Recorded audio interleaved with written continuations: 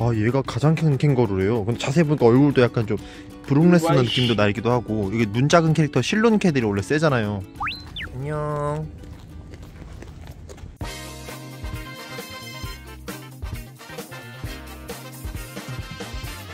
과학과 샌드박스 콜라보 reptile 포럼을 1월 13일부터 14일까지 이틀간 개최합니다. 이번 행사는 100개 이상의 국내 반려동물 관련 업체가 모이는 대형 행사로 일자와 장소는 위와 같으며 입장료는 사전 예약 시 더 저렴합니다. 많은 분들이 참여하셔 다양한 반려문화를 즐겨보셨으면 좋겠습니다. 감사합니다. 나왔다 나왔다 나왔다 이, 뭐야 왜 아니야 아 죄송합니다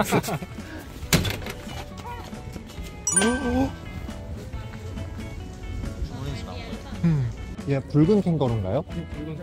아, 아 그렇게 크진 않네요 와 실제로보다 진짜 귀엽네요 여기 뭐 매년 새끼들이 막 다양하게 계속 태어나는 거죠? 지금 올해에 네 마리. 캥거루가요? 네. 캥거루한테 한 대만 맞아봐봐 우와 털 뭐냐? 그러니까 엄청 이거 무슨 털이지? 우와 어, 수른듯해. 예, 살, 살이 떠 있는 것 같아. 아, 이렇게 긁어가지고 바닥에 있는 거, 뿌리 같은 거 뜯어먹는구나. 캥거루가 몇 종이 있다 들었는데, 그 붉은 캥거루는 제가 생각했던 그 덩치들은 또 아니네요. 팔근육박. 9월에 태어났는데 자. 자기 자기 엄마가 아닌데 아, 남의 엄마 찢어 먹고 있는 거요? 작은 애가 치워놓고 큰 애가 9월인데 한 달 만에 저렇게 커요? 우와.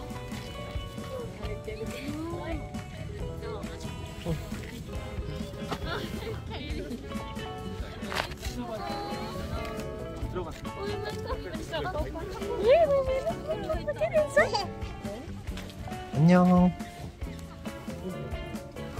진짜 귀엽다.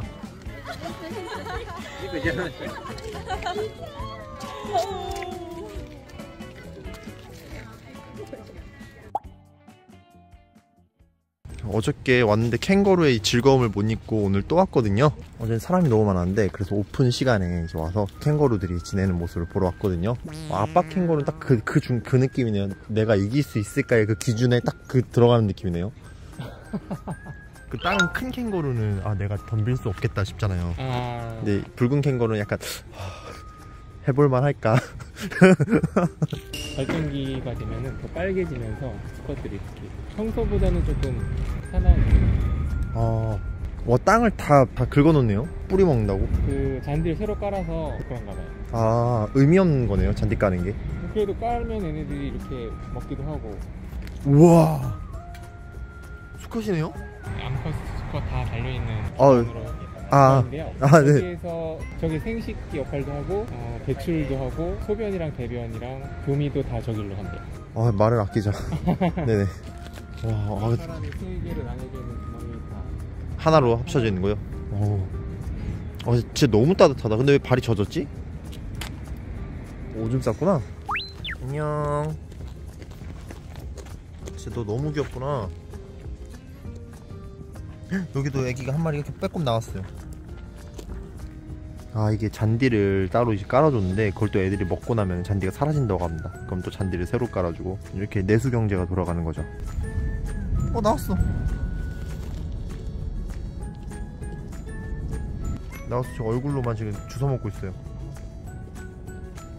일본은 동물원 오면 항상 이렇게 먹이 판매대라 해가지고 뭐 캡슐 같은 거에 간단한 이제 사료가 들어있어서 그걸 급여를 해주기도 하고 또 직접 이제 뭐 먹이를 담아서 주기도 하고 이런 것들이 많은데 한국은 이제 현재부터는 불법이라고 합니다. 사실 이거는 어, 일부는 좀 허용을 해줬으면 동물원 기준으로는 왜냐면 사람이 동물이랑 가장 1차적으로 접촉할 수 있을 만한 그런 수단인데 이런 건 좀 유지를 할 수 있게 해주면 너무 좋겠는데요.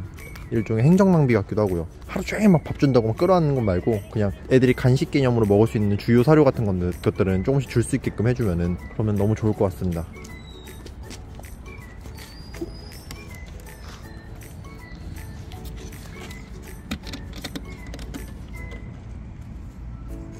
아, 먹이도 가차네요.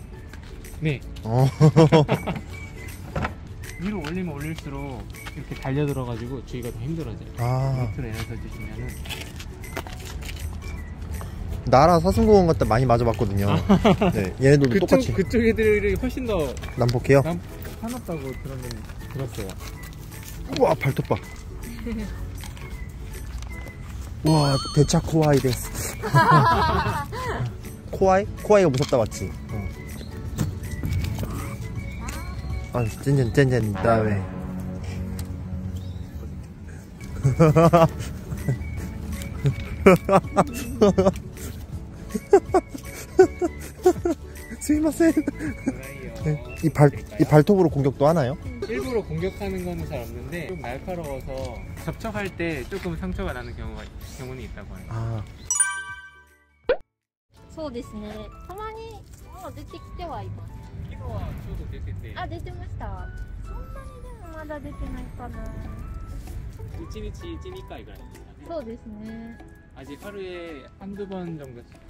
어, 안 나온다고. 아 진짜 안 나오네요 아직은.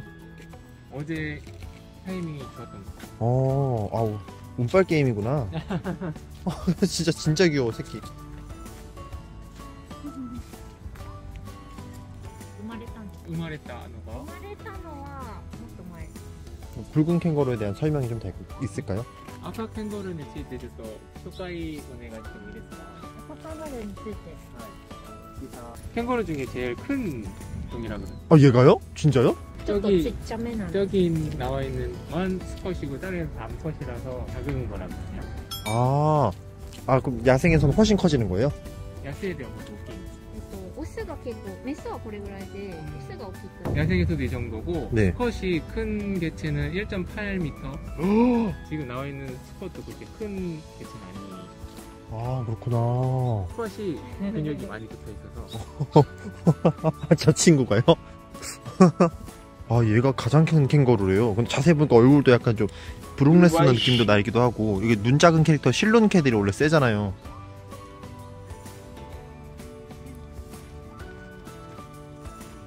아, 애들의 무분별한 번식과 인라인을 막기 위해서 여기 나와 있는 수컷은 이제 그게 없다고 하고 과거형이 수컷이었고요. 네, 그리고 안쪽에 있는 수컷들만 이제 현재 진행형 수컷이고요. 이렇게 해서 관리를 한다고 합니다. 한국에서는 캥거루 자체를 막 사람이 가까이서 볼 수 있는 데가 많지 않아요. 왈라비만 있고. 어, 그래서 캥거루는 막 인터넷 짤로 돌아다니는 게 사람을 막 팬다 그런 게 네 그런데 실제로 보니까 많이 순하긴 하네요 조금 사나운 친구들은? 사람들이 보실 수 있는데 말고 다른데 아좀 싸나운 친구들 따로 관리한다고 합니다 저 어저께 스캔거를 너무 좀 자세히 보고 싶었는데 그래서 손님들 없을 때 오전에 와서 이렇게 보니까 좀 여유롭게 볼 수가 있네요. 안녕.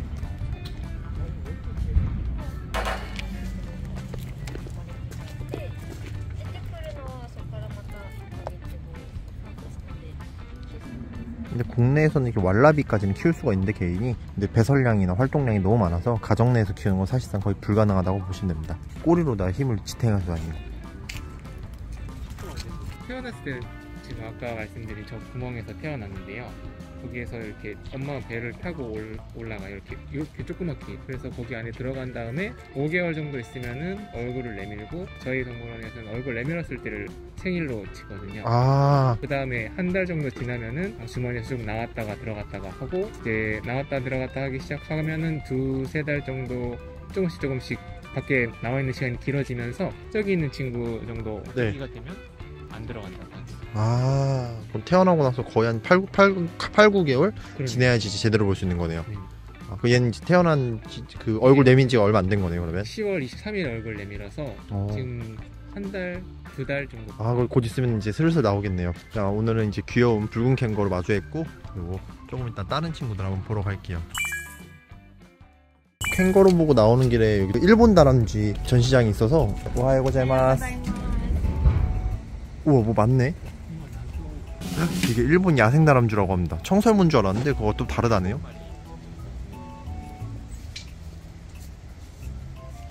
맞네요. 17마리 있다고. 17마리요? 우와.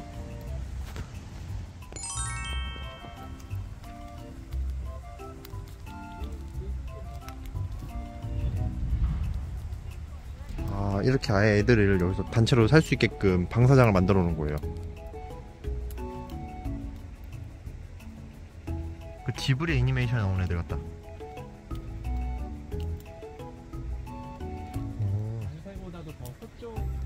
어, 방, 다람쥐한테 진짜 생으로 진짜 도토리 주는 건 처음 봤어요. 도토리 껍데기 다 뜯어가지고 안에 있는 거 먹은 거 저 방금 처음 봤거든요. 호두도 그냥 그걸 그대로 주면은 다 얘네들이 아주 단단한 먹이를 주는 이유가 애들이 이가 계속 자라기 때문에 이가 좀씩 그 갈려 나가야 된다고 합니다. 안 그러면 입이 다물어지질 않아가지고 이가 이게 잇몸을 뚫어버리는 경우도 있어요. 어 진짜 귀엽다. 여긴 들어오면은 그냥 애들이랑 같이 이렇게 지나다니면서 볼 수 있는데요. 여기서 마찬가지로 함부로 만지면 안 되는 거죠. 네, 맞습니다. 여기 와주신 분께서 많이 설명을 잘 해주셔서 너무 편하게 하고 있습니다.